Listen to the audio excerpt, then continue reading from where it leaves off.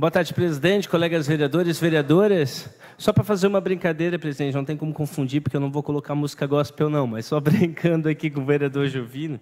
Mas, enfim, eu quero aproveitar o espaço aqui para a gente mostrar os trabalhos e os resultados, porque aqueles que me acompanham sabem que eu friso nisso. Eu não fico aqui em divididas, em discussões muito ideológicas e pouco práticas, dentro de visões extremas.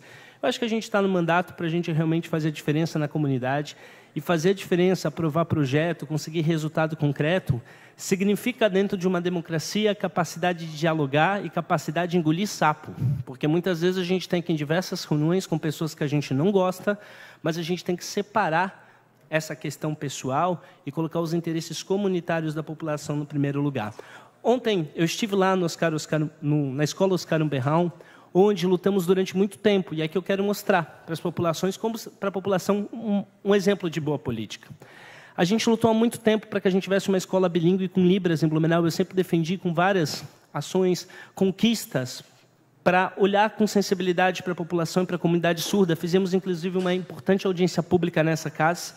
E lá, na Escola Oscar Berraum, numa visita, nós fizemos uma indicação que foi acatada para que a gente tivesse esse curso extensivo também para os pais, para a comunidade, para que a gente não tivesse apenas mil crianças sendo formadas com entendimento de Libra, e muito me emociona toda vez que lá vou, mas que a gente tivesse também os pais, para que a gente tivesse dentro de casa um entendimento, uma compreensão de sensibilidade, de respeito, de amor, de empatia.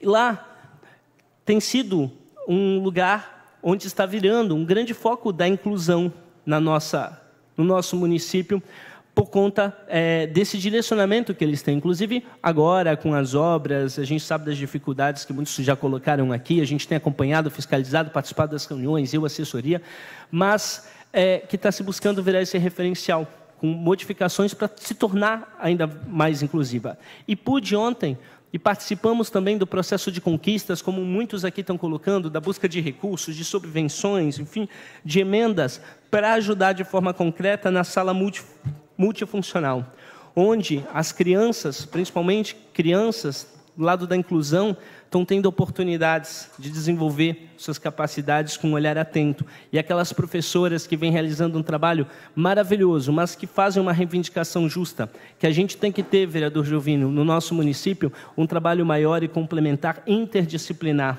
com pedagogas, com assistente social, com psicólogas, para que possam orientar os professores e as professoras para poderem ampliar esses trabalhos. Quero também destacar aqui, a gente tem, acho que as imagens, muitos lixos na, nas ruas é, e fazer aqui um registro ao secretário Ricardinho, que tem feito a sua parte, que tem atendido quando a gente mostra essa cobrança. Mas fazer aqui, reforçar, eu estou ainda aguardando há muito tempo, através do DEDECO, uma reunião, e já solicitei aqui diversas vezes, a gente está esperando o líder de governo para a gente discutir os ecopontos. Porque ao mesmo tempo que a gente tem esse abandono de lixo, a gente tem que conscientizar que a população está fazendo de forma equivocada, abandonando lixos por aí, mas a gestão pública também precisa melhorar nessa parte. Eu estou desde 2019 brigando pelos ecopontos, pela uma solução inteligente na, na, é, na destinação é, dos objetos. Quero também destacar que esse final de semana vamos ter feirinhas e eu sou um grande defensor das feirinhas municipais. Nós fizemos uma legislação nessa casa que trouxe a segurança jurídica e a garantia, né, enfim, de alguns avanços que eram cobrados pelas feirinhas. Estaremos também acompanhando.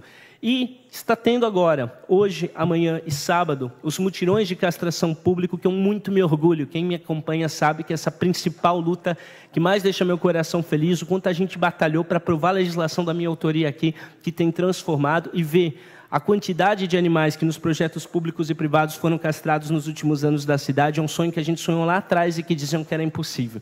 E só do público a gente está atingindo 17 mil animais. Isso é fruto de muito trabalho, de muita reunião, de muita conversa, de ouvir muito não, mas de não desistir do objetivo sincero e verdadeiro de fazer a diferença na sociedade. Obrigado.